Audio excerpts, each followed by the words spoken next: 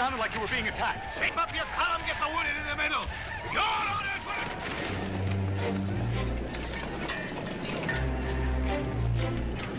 Take a message to Reno and Benteen. I want them in up here quick. Yes, sir.